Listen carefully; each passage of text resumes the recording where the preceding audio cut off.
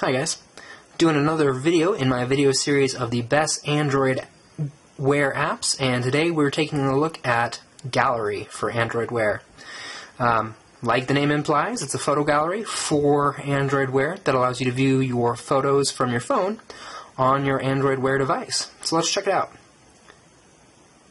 So when you first launched up, you have different galleries, um, all your folders in here that you can swipe up for, uh, and you see the name of the folder on on the main. The, it's on a green box there, as you can see. So this one's called Facetune, and then if you swipe from um, right to left, you actually view the photos in this.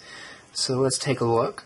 Um, here's some lovely photos of me and my wife from Halloween, and it works actually surprisingly well on a wearable device, considering this is like only a one point something inch screen. Um, and then to zoom, you just double tap, and then you can get a close up picture of whatever your photo is. Um, so it's pretty much that simple. Um, these aren't stored actually on your watch. These are all just synced over from your phone, so it has to do a little um, passing of the photos from your phone to your watch. But that's also a bonus because it doesn't take up as much room as storing um, full image photos on your watch, which considering most Android Wear watches are only like 4 gigs, you don't have a whole bunch of storage.